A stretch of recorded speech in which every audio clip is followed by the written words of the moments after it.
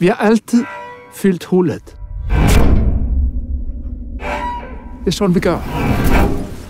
Så hvis du har et hul i dine bukser, så lapper vi det.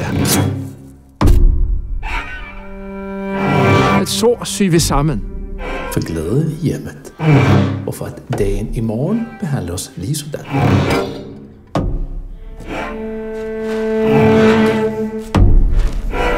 Hvad hvis vi ikke fyldte hullet? Hvad vil det så? Jeg havde en drøm i nat. Jeg drømte, at jeg faldt ned i, i ingenting, i mørke. Jeg ville bare ved med at falde.